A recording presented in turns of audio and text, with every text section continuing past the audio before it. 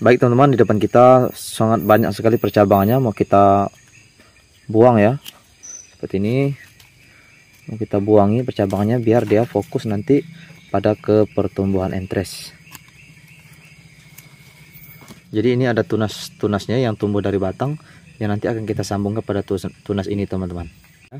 Langsung saja kita potong seperti ini. Jadi kita ukur sama besar antara entres dengan batang bawahnya. Ini juga nanti boleh kita sambung duri hitam. Nanti kita tinggal pilih uh, percabangan yang mana yang berhasil dan pertumbuhannya yang mana yang bagus itu yang kita pilih. Sementara yang tidak bagusnya nanti akan kita buang. Nah untuk membelahnya cukup simpel. Kita hanya menggunakan silet seperti ini. Agak panjang tidak masalah teman-teman. Kemudian kita ambil entres duri hitamnya. Kita lakukan penyayatan. Panjang ya sampai pada bagian sulurnya seperti ini. Sampai pada bagian sulurnya tengah-tengah. Lihat.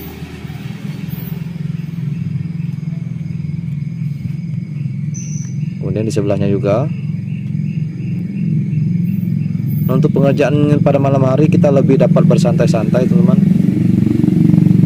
karena tidak dikejar-kejar oleh entres yang layu dan segala macamnya.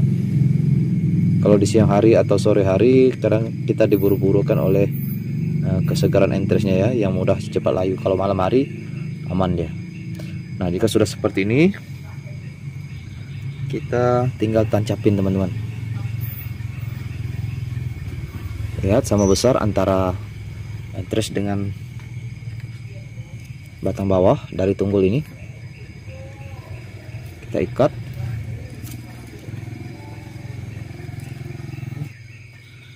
kita potong.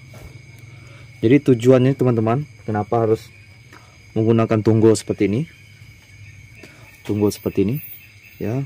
Karena pertumbuhannya akan uh, cepat besar ketimbang kita menggunakan dari yang masih kecil. Kita lihat dia punya ukuran ini sebesar lengan kita ya jika sudah, kita tinggal berikan sungkupan.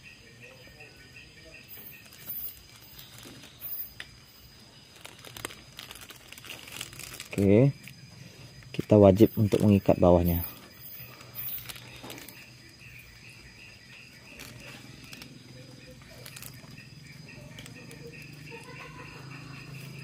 Oke. Untuk yang sebelahnya kita lakukan hal yang sama yaitu kita belah dulu. Kita belah panjang seperti ini. Kemudian kita ambil entres duri hitamnya. Entres ini duri hitam atau musangking ya? Duri hitam nih.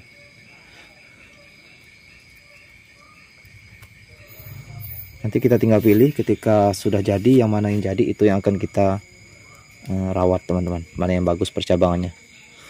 Kita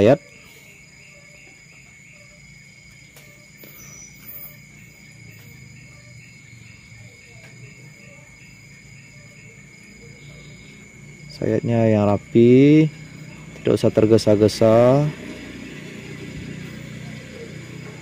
Harus pekerjanya harus teliti supaya hasil sambungannya itu bagus. Jika sudah kita tempelkan ya.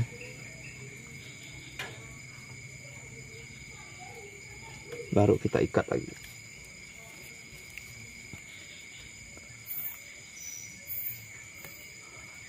kalaupun mau dibiarkan ini misalnya jadi dua-duanya tidak masalah teman-teman. Artinya dalam satu pohon ini nanti dia akan punya dua cabang. Boleh kita uh, rawat tapi namun uh, resikonya pertumbuhannya akan uh, lebih lamban ya ketimbang kita hanya menggunakan satu percabangan. Jadi tinggal pilihan teman-teman. Kalau sayang jangan dipotong tidak masalah namun kalau ingin pertumbuhannya bagus batangnya cepat gede itu wajib kita buang. Jadi kita hanya mempertahankan yang percabangannya bagus saja.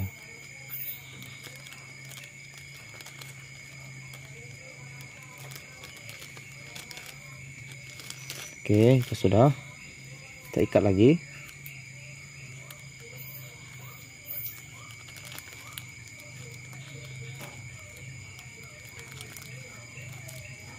Oke teman-teman, seperti ini sudah selesai. Kita masih mau mengerjakan proyek-proyek yang lain masih banyak. Jadi nanti hasilnya seperti ini teman-teman. Tuh. Ya. Ini sudah kita lakukan penyambungan. Nah, ini yang maksud saya tadi yang satu pohon ada dua tunas seperti ini. Tuh. Ini yang lihat tuh pertumbuhannya super cepat sekali teman-teman. Nah, ini satu pohon juga dua jenis. Kemudian di sana ini baru umur satu bulan pertumbuhannya super kencang sekali. Karena apa? Karena batang bawahnya gede ya. Karena batang bawahnya tunggul gede seperti ini. Tuh perhatikan. Oh ini udah bisa kita buka nih. Nih nah. Tuh. Keren kan? Oke teman-teman terima kasih telah mengikuti videonya. Semoga bermanfaat dan teman-teman bisa lakukan ini di rumah. Bye bye semoga berhasil teman-teman